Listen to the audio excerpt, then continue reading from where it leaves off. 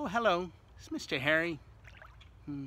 I'm at one of my favorite places in the whole world. I'm beside a pond. Ponds are cool. They're full of all kinds of things. And they're places that you need to have an adult with you if you ever go to a pond to keep you safe.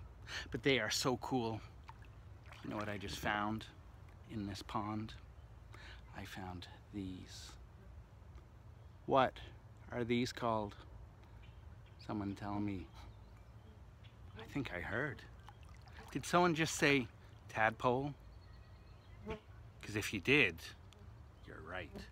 These little ones are tadpoles. And if they stay healthy, what will these turn into? Hmm? Did someone say frogs? I think I heard someone out there say frogs. And that's absolutely true. If these little guys that live in the pond behind me, if they do stay healthy, they'll turn into frogs. But my question for you this week is how?